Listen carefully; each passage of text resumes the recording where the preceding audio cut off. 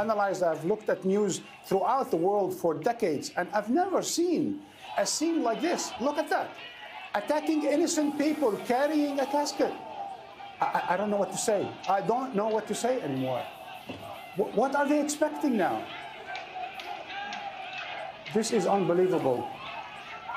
Unbelievable. Oh my God. Oh Such disrespect for the dead and for those who are mourning the dead. How is that a security threat to anyone? How is that disorderly? Why does that require this kind of repression, this kind of violence on the part of Israelis?